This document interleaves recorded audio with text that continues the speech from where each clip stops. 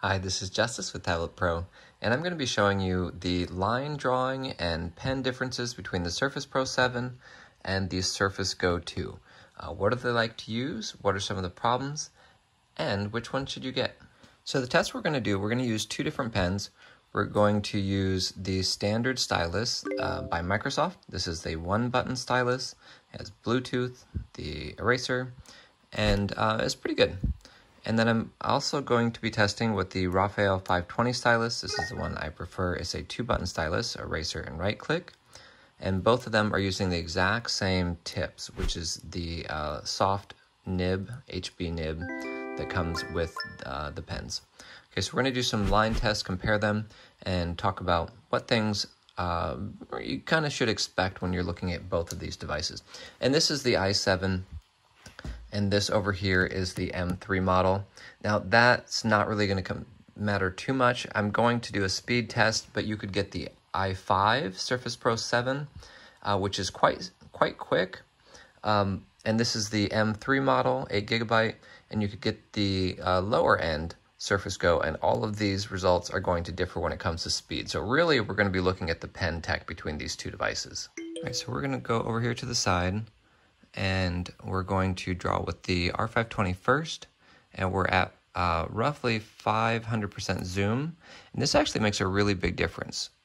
So do lines here, we'll do three lines, and then let's zoom in to about a thousand percent.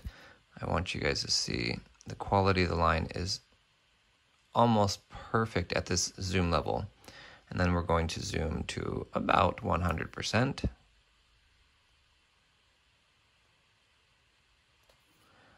I want you to see just here how much difference it makes in the line quality and jitter, that amount of zoom.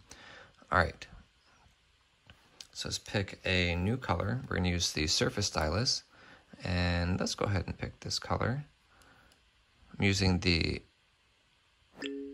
Tablet Pro pen tool to remap the side button on the Surface Pen. Uh, oh, you know what? I did this wrong. I need to be at 500% for this first one. Okay, 500%. And let's zoom to 1000%.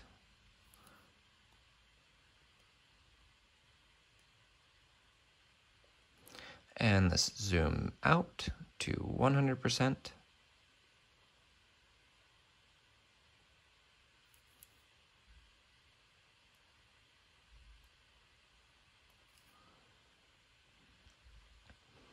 Can see here kind of how that looks. Here again, more wobble in these ones, almost perfect in the center, and fairly decent in the first. Okay, now our pressure test on these two. We're gonna go, um, let's go ahead and pick a darker color. And we're gonna go light to heavy, back to light. That's really hard. It drops off here at the end. This is actually the hardest part. So the easy part, you put the uh, pen just on the screen, start dragging it just with the weight of the stylus. And then push a little harder, and then try and return it back to dragging just the weight of the pen. Really difficult to do. This is actually very impressive in what you're looking for, especially since the Surface Go 2 I don't think has the same amount of pressure as the Surface Pro 7. All right, and back to light. All right, so you can see this little bit of fall off here, um, the fall off here. Uh, those two things are um, things you want to uh, actually pay attention to. All right, so those are the two styluses for pressure. Uh, let's go ahead and label that R and S, Surface and R520. All right, so let's go ahead and go over to the Surface Pro 7. Now, both these machines, you should notice the smoothing is at zero. Uh, again, I have the pixel, or the pixel size of 7, hardness 70%. I'm using soft round brush. Uh, I'm zoomed in at basically 500%. And let's go ahead and repeat these. And zoom into a 1,000.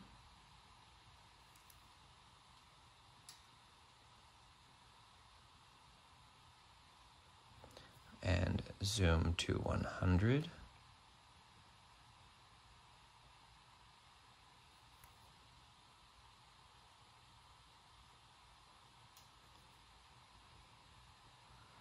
See here the line quality differences between the Surface Go 2 and the Surface Pro 7. We're seeing a lot more uh, variance in pressure, more than we're really seeing difference in jitter quality, which is a little surprising to me. But, um, all right, let's use the Surface Pen. All right, uh, first test is at 500 zoom.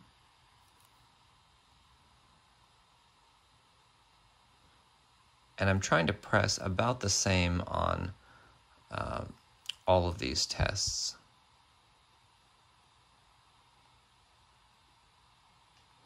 I guess I did that one softer.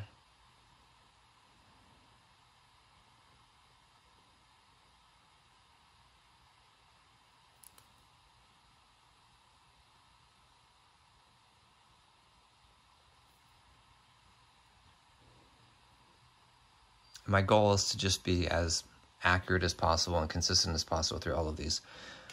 All right, so let's go ahead and look at the um, pressure. So we'll start here with the surface.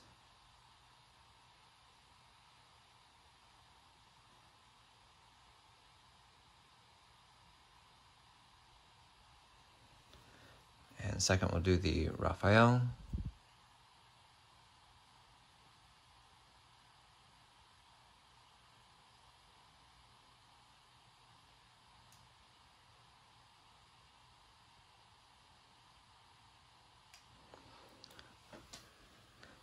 All right, okay, so um, here's what I'm seeing. Here's my conclusion on these. Uh, what I'm seeing is I'm seeing uh, pressure response is better. Pressure response is better on the Surface Pro 7 on the R520 stylus. Um, both are decent. You're getting a little bit more fall off here where you're just dropping from uh, low pressure to no pressure instead of going to light pressure uh, whereas here you're seeing lighter. On the Surface Go 2, you're actually seeing the opposite. Here you're seeing the drop off on the uh, R520, and you're seeing uh, a better uh, fade to zero on the Surface Stylus. Uh, so that should be noted. Definitely pay attention to that. As far as line quality goes, um, I'm not seeing a big difference in line quality uh, in between this, the Surface Pro 7 and the Surface Go 2. I actually expected, like I said, to see more. Um, here, again, this is the Surface Pro 7, and this is the Surface Go 2. You're seeing more difference in pressure, which you can adjust in the Surface app, than you are seeing in line quality. All right, so let's talk a little bit about speed. All right, so here's our quick speed test. For some people, this is going to matter. For other people, it won't. We were in a 3000 by 2000 pixel canvas. Oh, I don't know what size we were in. All right, let's just go ahead and make this bigger. All right, here we go. All right, now we're going to take this all the way up to 5,000. Okay, we're going to take the pen, and we're just going to go down and over to the side. Okay, we're going to adjust the color. Let's just make it here. And we're to do the same thing with the Surface Stylus. All right, we're going to do that same test on the Surface Go 2. All right, we're a little bit out of focus, but I think you guys get the idea. Um, let's go ahead and put about the same size that we had on the Surface Pro 7. We're to start with the R520, and let's bring the pixel size up to 5,000. We're seeing a bigger variance in pressure here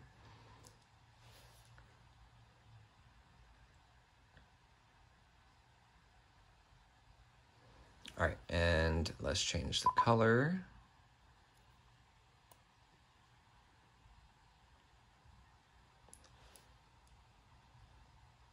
Uh, if you guys want to know how the Surface Go 2 compares to the Surface Go 1, the cheapest model of the Surface Go 1 versus this M3 model of the Surface Go 2. Um, I have a video up for that. I'll put it in, the, in I'll put a link to that in the description. All right, and let's go ahead and bring this down actually to uh, about a thousand pixels. And you want to keep your your hand away from the screen, the pen away from the screen while you do this. We are not going to be able to see that at all. Let's change colors. Okay. Thousand pixel brush. That's the surface stylus. R520. Let's do that one more time with a different color. It's actually pretty fast. All right, let's go to the Surface Pro 7. All right, Surface Pro 7, we're going to drop down um, our size to about 1000. And let's change the color. And it's pretty much instantaneous R520. Uh, let's change the color one more time. Oh, and it's just, it's so fast as a thousand pixel brush. So, and that's not something that I think a lot of us are going to be using on a regular basis. Let's go ahead and look at one more. Let's look at a 100 pixel brush. Um, obviously, this size is, let's just go here, uh, 100. Okay. It's, it's going to be instantaneous and we already know it. All right, let's look at the Surface Go 2. All right, Surface Go 2, and we're going to check the pixel size here down to 100. Let's go ahead and make this exact. that made me happy. Okay, all right, uh, adjusting the size. Uh, by the way, this is KeyPress OSD, which shows all the keyboard shortcuts and makes uh, sounds and beeps.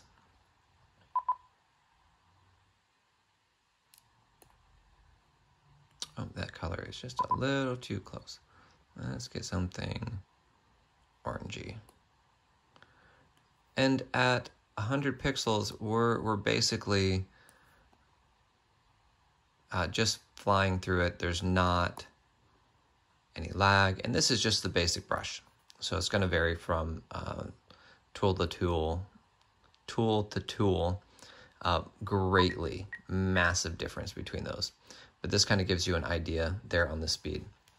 So last thing to talk about here, what about the actual machines? Uh, what things am I not showing the video that you guys would want to know about? On the Surface Go 2, I get phantom touches.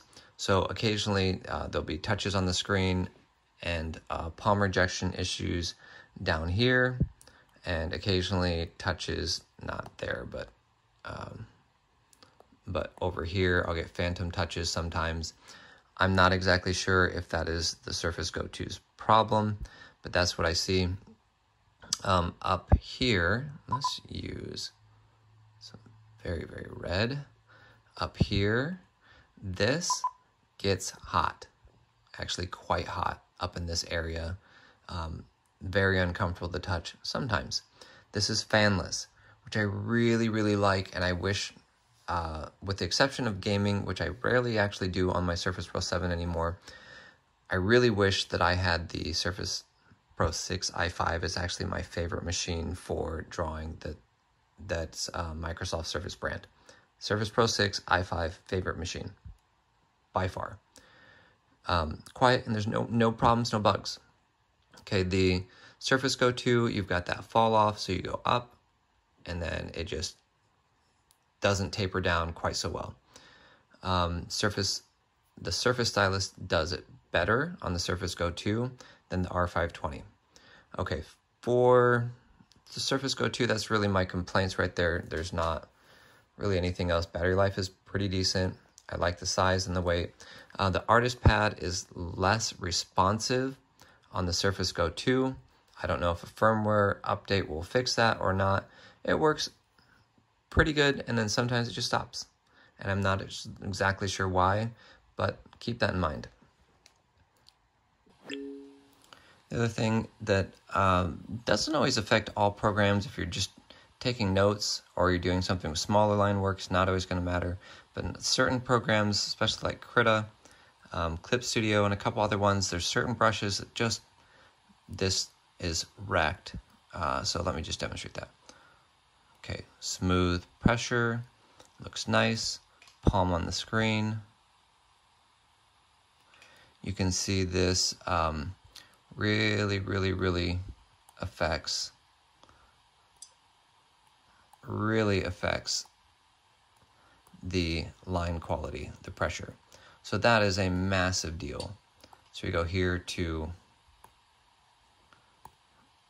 our pen pressure, push down and up. You see it's nice and smooth. Let's put palm on the screen. And you can see this really jaggedy staircasing right here with the pressure. It just jumps as if it were a 100 levels of pressure instead of 4096. So keep in mind that is going to be uh, affecting some people's artwork. It doesn't affect everything. In certain programs, they uh, interpolate between pressure levels anyway. I think I'm saying that right. And so it's going to be smoother in certain programs versus other ones.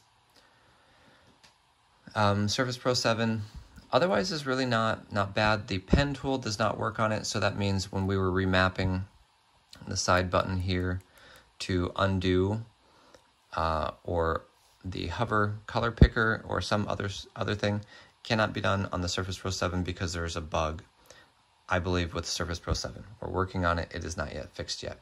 So when you're looking at these different things, keep that in mind. The Artist Pad from Tablet Pro works very, very nicely. Um, Clip Studio is fantastic on both machines. So is Paint Tool Sai. Those are the two programs I recommend highest, more than Photoshop. But you're probably going to want to pick your drawing program based off the type of art that you want to create more than uh, some of the other types and other things that we look at when we're looking at drawing programs. And I'll have a video about that soon coming out. Uh, all right, you guys, what other questions do you have between the Surface Pro 7, the drawing experience, and the Surface Go 2? Uh, what would you like to know that I didn't show? All right, you guys, thank you so much for watching. I hope you have a wonderful day, and until next time, stay creative.